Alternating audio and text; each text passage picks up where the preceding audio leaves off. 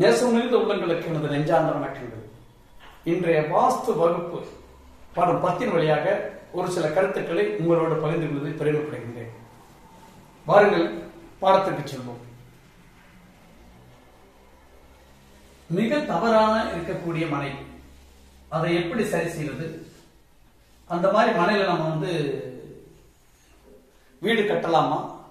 அல்லது ஏற்கனவே ஒரு கட்டிடங்கள் இருக்கும் பொழுது அதில் அது சார்ந்த எதிர்மறை பலன்களை தவிர்த்துக் கொள்வது எப்படி? வடக்கு என்பதை முதலில் நாம் சுட்டிக்காட்டி இருக்கின்றோம் தெற்கிலிருந்து வரக்கூடிய சாலை. சவுத்.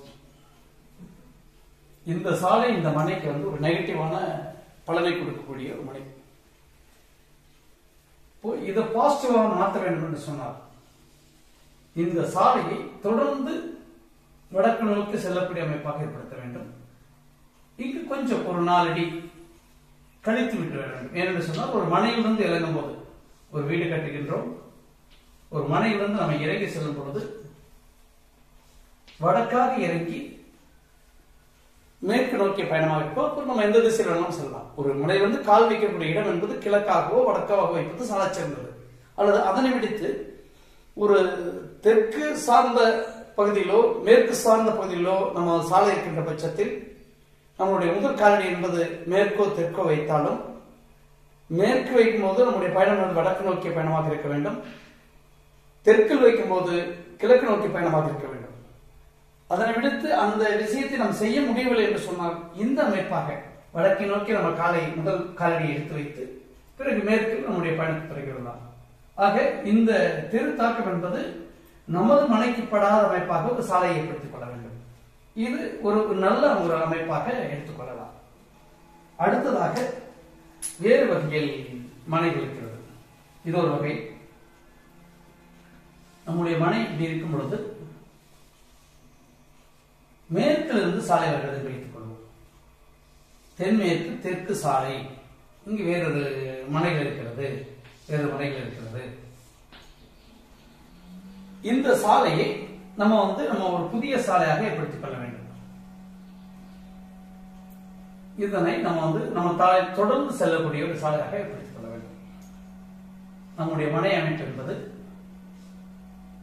இந்த அமைப்பாக ஒரு இல்லத்தை கட்டிக்கொள்ள வேண்டும்.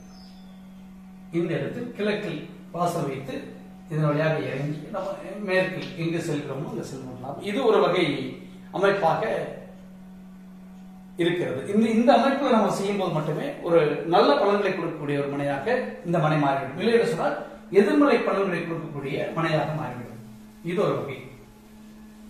அடுத்ததாக அடுத்ததாக ஒரு மனை இருக்கிறது என்று சொன்னால் தவறான தெரு தாக்கமுள்ள தெருக்குத்துள்ள வடக்கிலிருந்து வரக்கூடிய சாலை. இதற்கு மற்ற விதிகளுக்கு என்ன விதியை நான் சொல்லியிருக்கிறேனோ அதே விதியை இந்த இடத்தில் உட்படுத்த வேண்டும். சாலைகளை முழுவதுமாக ஏற்படுத்திக் கொள்ள வேண்டும். மனையை கட்டும் பொழுது இந்த அமைப்பில் நம்ம வந்து மனையை கட்ட வேண்டும். இந்த இடத்துல வடக்கு வாய் இந்த இடத்துல ஒரு சின்ன ஒரு அமைப்பை ஏற்படுத்தி ஒரு சிறிய சந்தை ஏற்படுத்தி வடக்கு சிறப்பாக ஒரு சின்ன ஒரு பாதிப்பை கொடுத்தால் ஒரு ரெண்டு பர்சன்ட் மூணு சதவீதம் பாதிப்பினை கொடுக்கும். பெரிய தவறு வந்து எப்படி வெளியே வருவது என்பது இந்த இடத்துல நம்ம யோசிக்க வேண்டும். யோசித்து வாசலை வைத்து இதன் வழியாக வெளியே செல்ல வேண்டும். இது ஒரு வகையான ஒரு அமைப்பு. அல்லது இந்த மாதிரி இருக்கக்கூடிய மனையில இந்த இந்த மாதிரி அமைப்பு ஏற்படுறது இந்த தவறுகள் இல்லாமல் கூட செய்யலாம். நேராக நம்முடைய மனையை இந்த அளவுக்கு கட்டி வாசலை வடமேற்கு மேற்கு வைத்து நேராக மேற்கு இறங்கி வடக்கு செல்லக்கூடிய அமைப்பை ஏற்படுத்திக் கொள்ளலாம்.